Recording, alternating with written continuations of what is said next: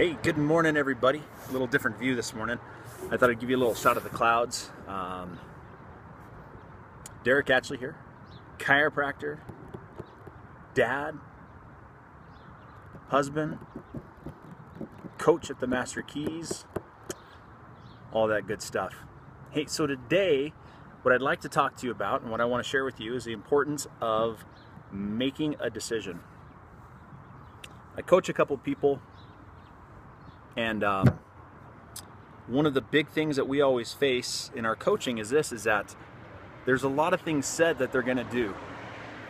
Um, ways to get business up and going, ways to activate um, their customers, ways to um, you know maybe get more people in the door, ways to uh, streamline their business, things like that.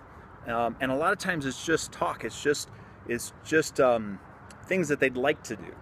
So one of the big things that we work on is making a decision to do it, setting a date to do it by, and then putting definitive action behind it.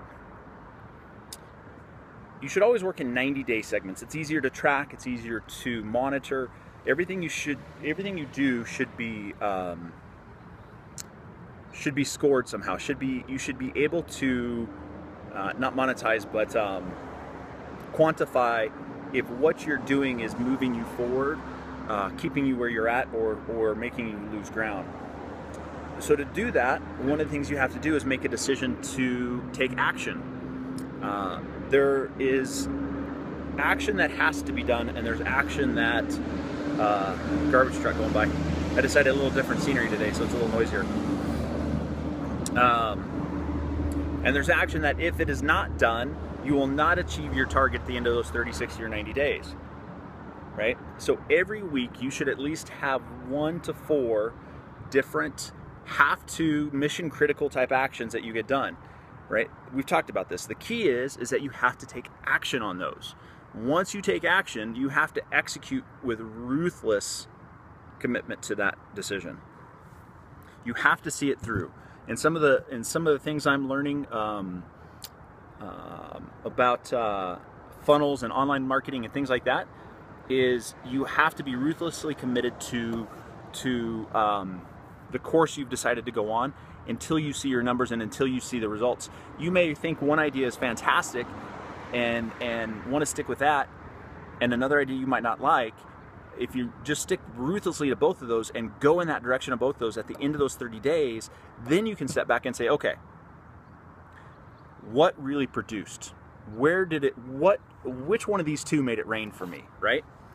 Um, one of my mentors always says the, the, the guy who can make it rain the most is the winner. And it's true, really. Um, but in saying that, it's the guy who makes the decision to make it rain. So, my encouragement for you today and my action steps for you today is this make a decision and take action. So look at the four areas of your life, your body, being, balanced business. Look where you have been procrastinating on taking action. Look at where you've been procrastinating on making decisions and figure out why and then change that. Start making a decision, start taking ruthless commitment and, and action on that decision and execute. So you can't get anywhere without a decision. You can say you want to go to Chicago, but until you actually decide and take action on going to Chicago, it's not going to happen.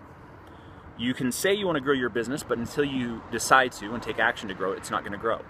You can say you're going to have a marriage on fire, and until you decide to do that and take action that actually moves that forward, it's not going to happen.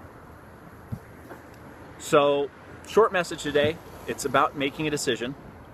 So, make decisions today, take action on those decisions, and move yourself forward. All right, I hope you guys are having a great Thursday.